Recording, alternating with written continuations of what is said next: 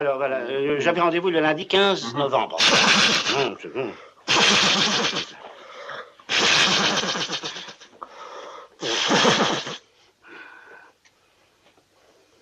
Excusez-moi. Bitte.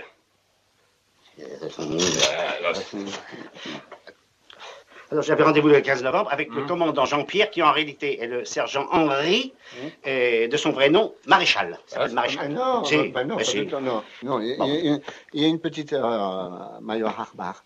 C'était pas un lundi, c'était un dimanche. Oui, c'est vrai, oui. Et d'une. Et c'était pas en novembre, puisque en- c'était en janvier. Voilà. Et le dénommé Henri ne s'appelait pas encore Maréchal? Non. Mais moi, je suis né en 14, moi. Euh, oui, oui, c'était la Grande Guerre. Ah bah oui, c'est la Grande Guerre. La Grande Guerre. 4 ans. 4 ans, Oh, terrible. terrible. Terrible. Quatre ans.